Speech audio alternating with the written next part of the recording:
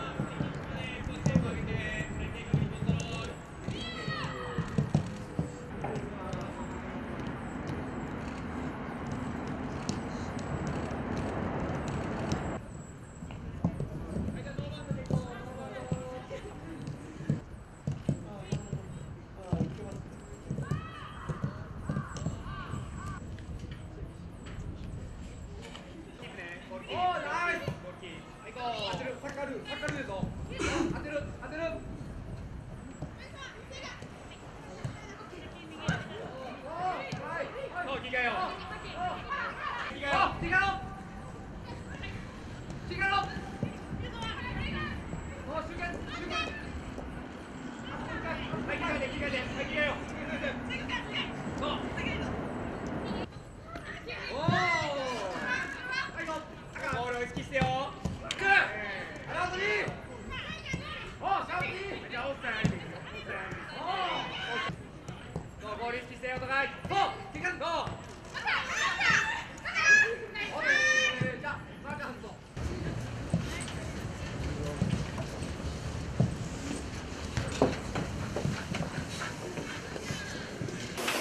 はい前回は試合にも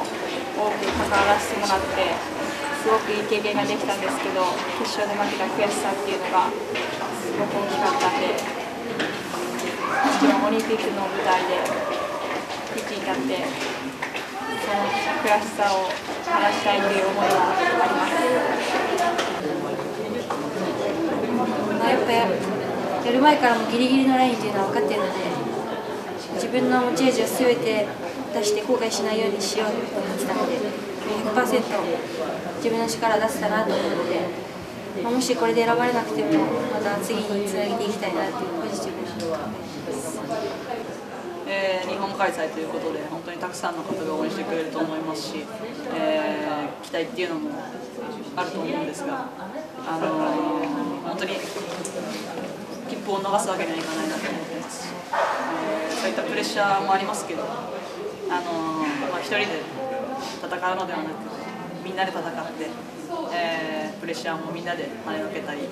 えーみんなで勝っていきたいなと思っています。